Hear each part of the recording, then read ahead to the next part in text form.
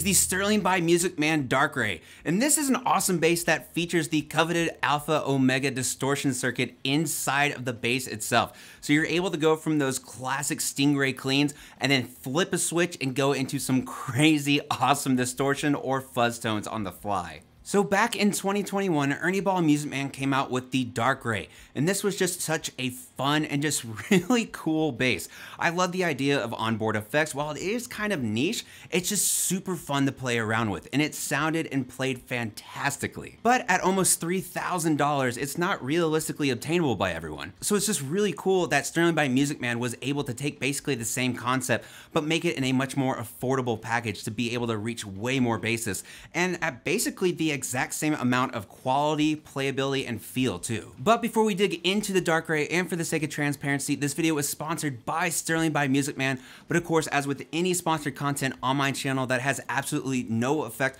on what I say, what I play, anything I do in this video at all. They don't even get to see it before you guys or anything like that. I'm just a bassist who loves trying out different kinds of gear and seeing what cool sounds I can get out of it and also what cool riffs I can make with it too. So yeah, let's just just jump right into it.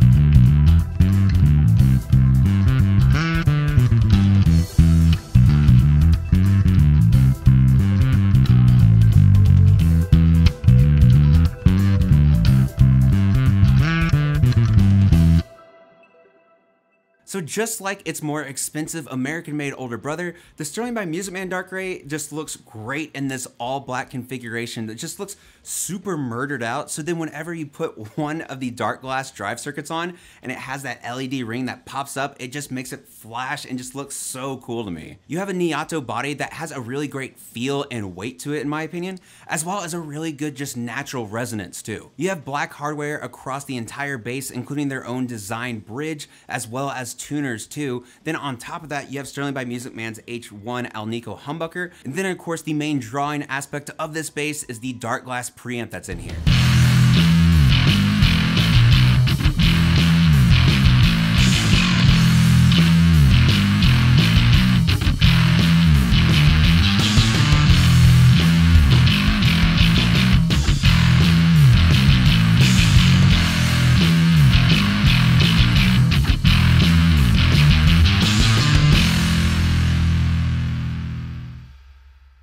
You have Darkglass's clean two-band active preamp that also has the Alpha Omega drive circuits in it as well. Going down, your controls are volume, then gain for the distortion circuit, blend for the distortion circuit, and then overall treble and bass EQ controls. Then for your three-way toggle switch, all the way towards the bridge is clean. In the middle, you'll have red, which is alpha for your distortion, and then finally all the way towards the neck is blue, which is omega for that really just loose, nasty fuzz sound. And then on top of that too, internally, when you take the backplate off, on the circuit board yourself, you're able to actually change the independent volume of both the alpha channel and the omega channel too. So if you want your alpha channel just to be a little louder than your regular clean sound, you're actually able to dial that in exactly how you want to, which is just so cool to me.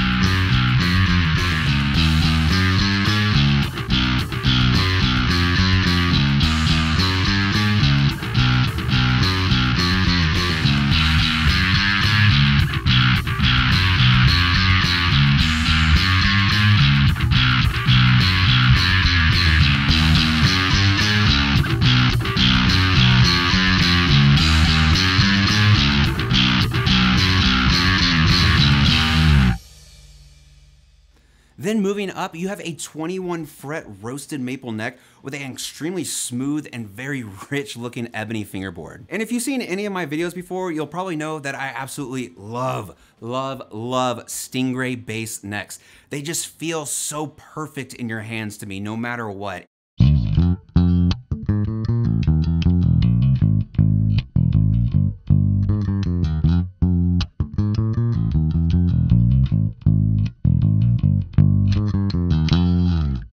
So for the pros on the Darkray, I absolutely love being able to have the Alpha and Omega drive circuits right there on board. It's so fun to play around with and it sounds really good with low gain too.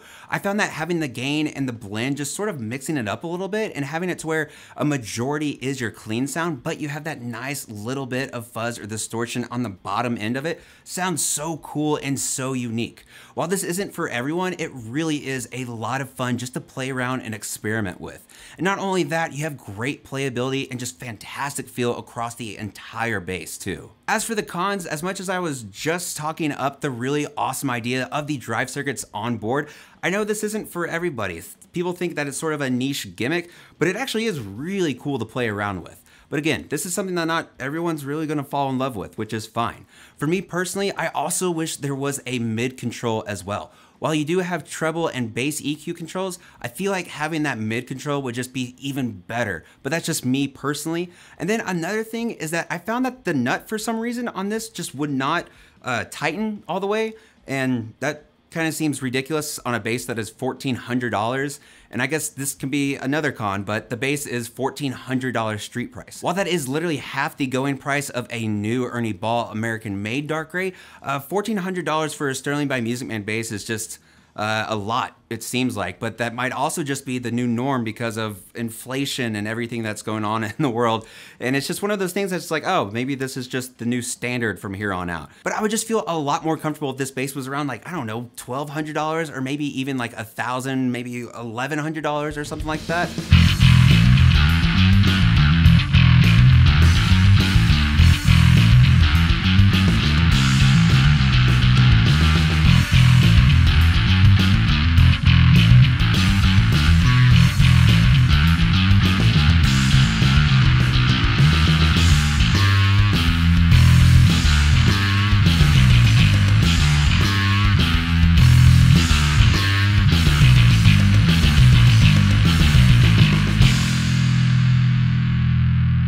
So overall for the Sterling by Music Man Dark Ray, you're able to have basically the playability, sound, and feel of the American-made Dark Ray, but now at literally half the cost, which I know a lot of people will be very excited for.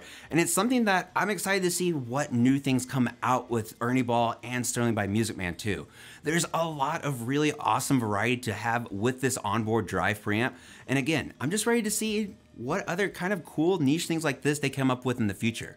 But of course, let me know what you guys think about the Sterling by Music Man Dark Ray and what other really cool basses I need to be checking out. Thank you all so much for watching, as always, for watching, commenting, subscribing, sharing my videos, follow me on social media, all that weird, crazy stuff. I truly do appreciate y'all. And of course, a humongous thank you to my beautiful Patreon supporters right over here. If you want to be like one of these gorgeous people right here and help support the channel every single month, then go ahead and head on over to my Patreon page. But y'all, thank you again so much for watching, as always. And of course, no matter where in the world you are, stay safe, practice that bass, practice that bass even more than you're thinking about doing. Just, just keep practicing. Do it more and I'll see y'all next time.